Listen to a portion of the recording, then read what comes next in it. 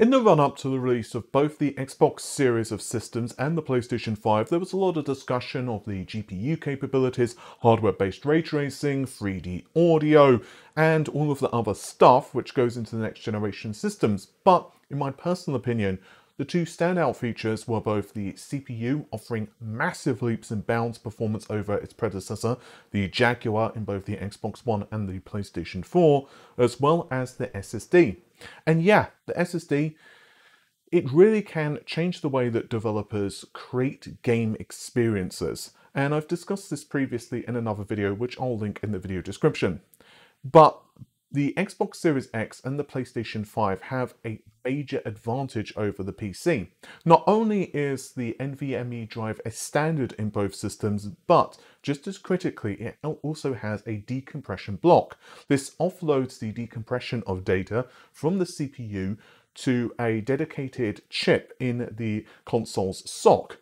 And this means that the PC is going to have a very interesting time adopting. But with this video, I don't want to bring you problems. I want to tell you the solution to these problems. And well, Microsoft have you covered here. There are going to be two pieces of tech we're going to focus on, both direct storage as well as the sampler feedback system. Now, I do want to warn you guys that if you're a developer, if you're a programmer, this video is probably not for you. It's going to be a quick overview for those who perhaps have missed some of this stuff or perhaps a little less technically inclined. I will though provide a ton of links in the description of this video to a ton of conferences from Microsoft themselves as well as Nvidia and a couple of other folks too. So if you, you know, are a developer, then of course you should go ahead and check those out as well. Oh, and Furthermore, um, I'm going to focus on the Xbox's implementation of its uh, SSD system here, simply because it shares a lot of similarities to the PC. Um, the PlayStation 5 does have very similar capabilities, but again, I'm going to focus on the Xbox. Strictly speaking though, for PC, SSD tech has been around for quite a long time. SATA SSD drives have been capable of over 500 megabytes per second transfer, with the SATA port, of course, limiting transfer speeds uh, with SATA 3. And then we were switching over to NVMe drives years ago, and they have relatively massive throughput. So when the PlayStation and the Xbox were announced and they supported NVMe drives, a lot of PC gamers were like, huh, well, welcome to, you know, now. But yeah, while PCs do have NVMe drives and have for years, the reality is that consoles are actually ahead here on the PC, ironically enough. And that's because of how the Xbox, for example, handles the decompression of data as well as its I.O. stack. Microsoft call this stuff, as well as some other things we'll discuss in this video, the Xbox Velocity Architecture. Now I want to discuss, before we proceed any deeper on this, a couple of the challenges that PC gamers currently face and how tech such as direct storage can aim to solve these. We'll go into direct storage and sampler feedback a lot deeper in just a moment. Challenge 1 is the software.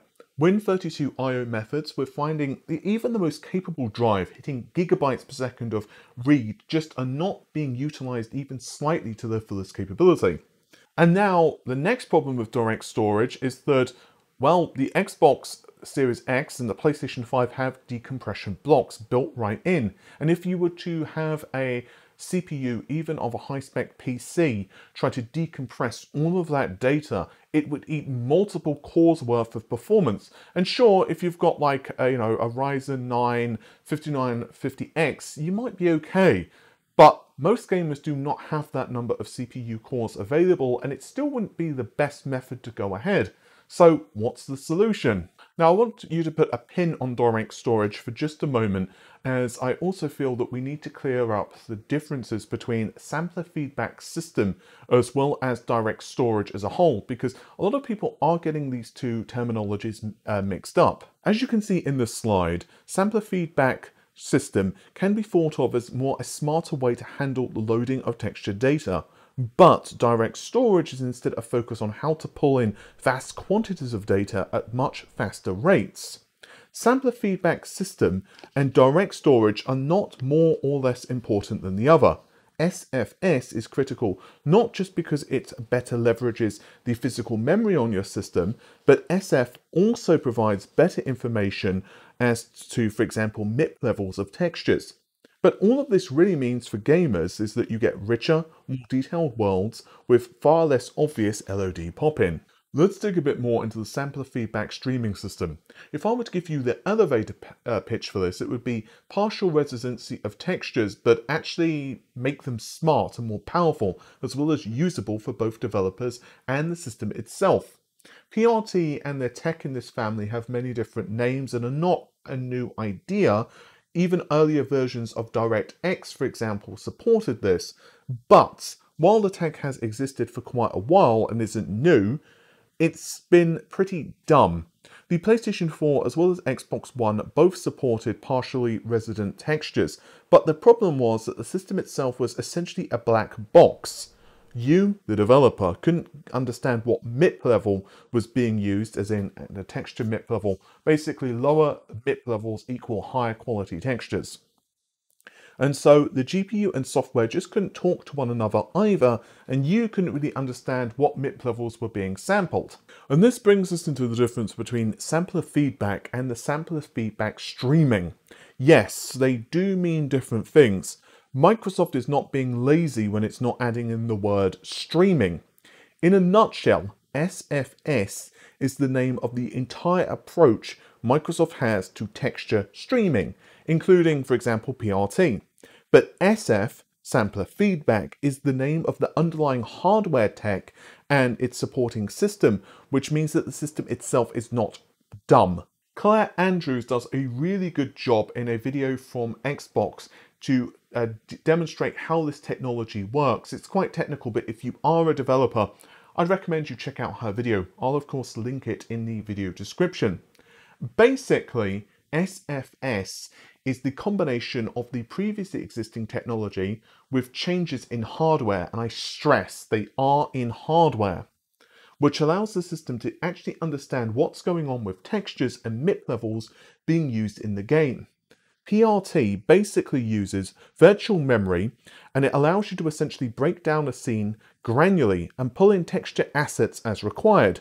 So you don't need the whole texture because say part of an object is obscured.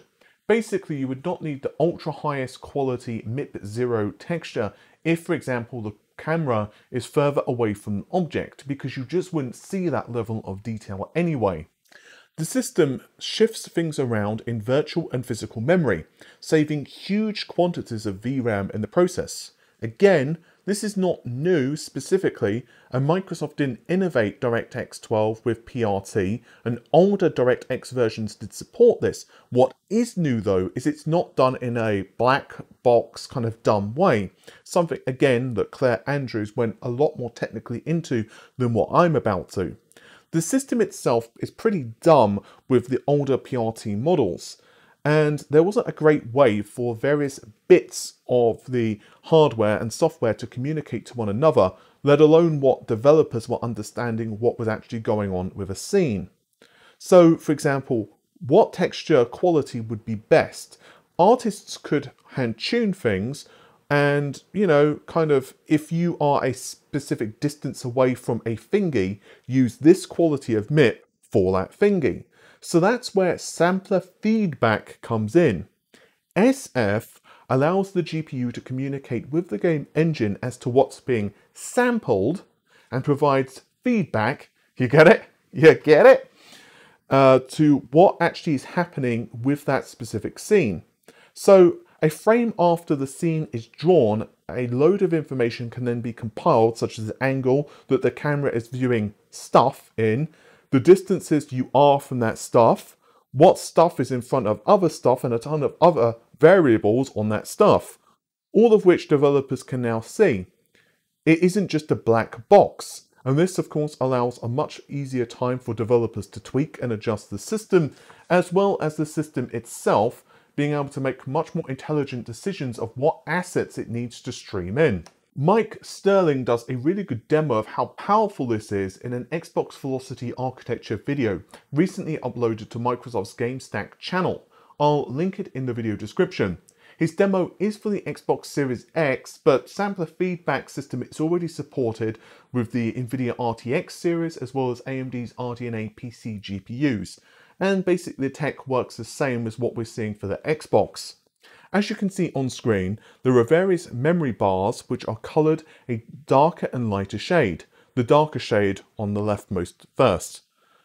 The light region is basically representing the amount of memory used in the previous frame, while the darker region represents the amount of memory loaded but not used in the last frame. This means that if a texture isn't used for a specific amount of time, let's say you run past a series of walls in a city, and those specific cinder block walls aren't used anymore because you've gone past them and there are no other buildings like that, well that data can go bye-bye and free up that RAM.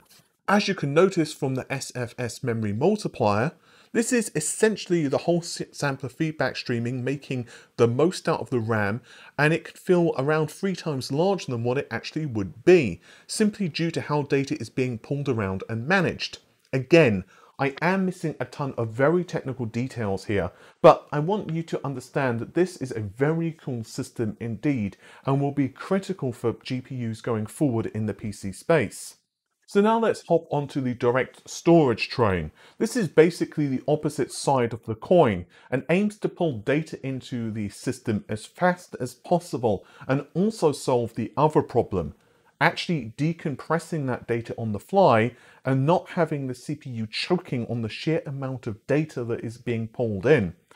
On PC, users are naturally going to have different levels of hardware. Some folks are going to load their system up with 32GB of RAM, multiple NVMe Gen 4 drives, while others will still have 8GB of RAM and slow mechanical drives. This means that the PC platform is going to grow, and Microsoft understand this and are building a platform which can basically be leveraged further in the future, depending on how developers, of course, code their game, and also how you upgrade your system.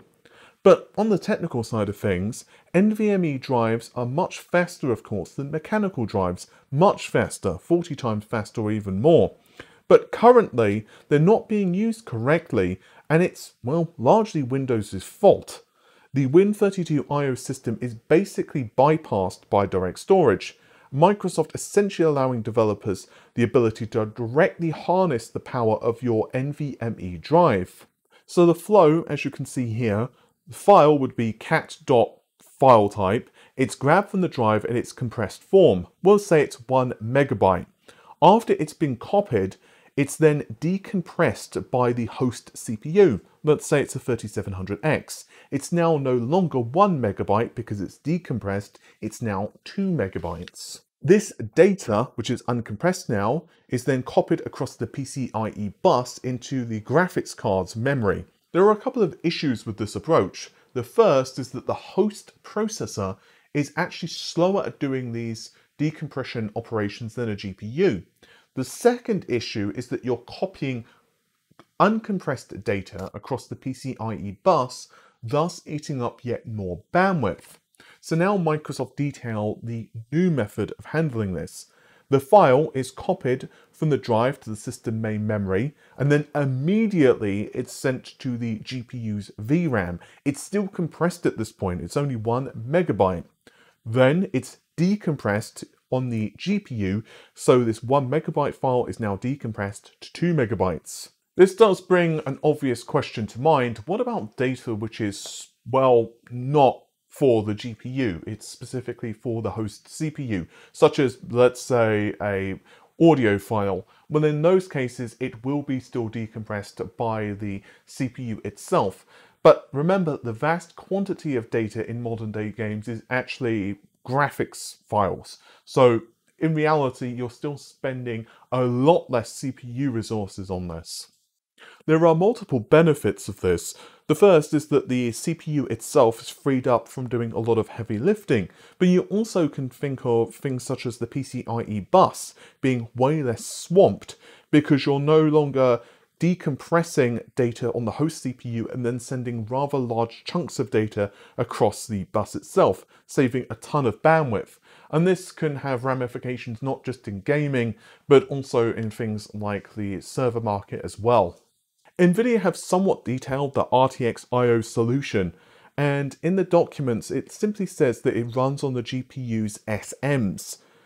Based on this and also the language that both Microsoft and other vendors have used in public, I'm assuming this would run on the standard CUDA cores of an NVIDIA GPU or on the shaders of an RX 6000 series card.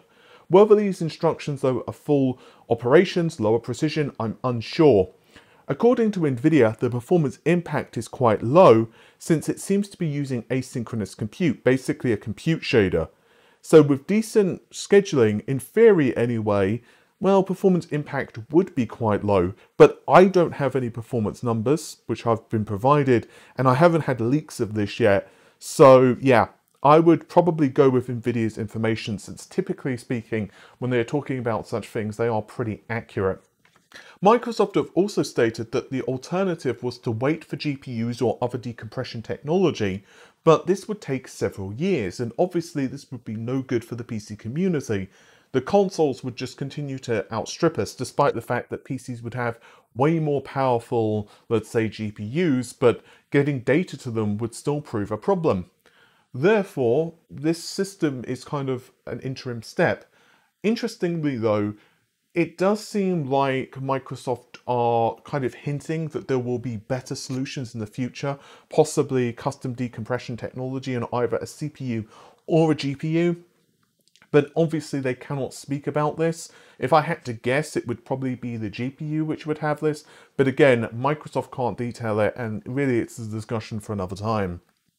Another big difference with the way that DS handles I.O. requests as well is that it doesn't just do them one at a time. Basically, you are batching I.O. requests, which once again is incredibly more efficient. You no longer have to have a, please give me this. Oh, okay, here you go. Okay, cool, I've got it. Hey, wait, I need this one as well. Okay, here you go. Constantly happening. Instead, I.O. requests can be thrown together in large batches of files, which can be chucked over, which again is way more efficient, particularly when dealing with a ton of relatively smaller files. So there you have it guys. Hopefully you have found this video somewhat informative. It's a little less deep than what I would normally go into this type of topic, but yeah, this is quite a rabbit hole you can go down. And I had started to actually write a more, well, let's say technically inclined script, but I just realized that a ton of people were just kind of asking for the Cliff Notes version of this, so that's kind of where I was going with it. According to Microsoft as well as NVIDIA, we're going to get a much better understanding of what tech they've been working on, and I assume AMD will do the same as well over the next several months. So I figured I can wait for the more kind of technical breakdown when we actually have a lot more detail and technical demos on how all of this stuff works. I'm really excited though, honestly, because I think this tech is going to be very important for PC gaming. Um, I think we're going to be in a really big transition period for tech at the moment. And, you know, we can kind of already see that tech like hardware-based ray tracing is really cool. You know, NVIDIA did a really great job pioneering this tech. Obviously, their GPUs essentially were used to kind of, you know, almost map out uh, some of the ideas behind, let's say, Xbox's machine learning. But ultimately, you know, neither the PlayStation or the Xbox are being even slightly pushed to their limits at this point. So it's going to be very interesting to see how all of this stuff unfolds, I feel, over the next couple of years. And also to see what actually happens in terms of market adoption, in terms of standards. Um, yeah, it's going to be very interesting. Also, uh, you know, kind of looking at the broader scope of this, after how this tech is going to impact, let's say, the server market and also what will happen with, let's say, Linux games going forward. Um, yeah, I'm going to be interested to see what happens with, you know, kind of, uh, let's say, Khronos Group and its, uh, you know, its uh, handling of this. With all of that said, thank you very much for checking out the video.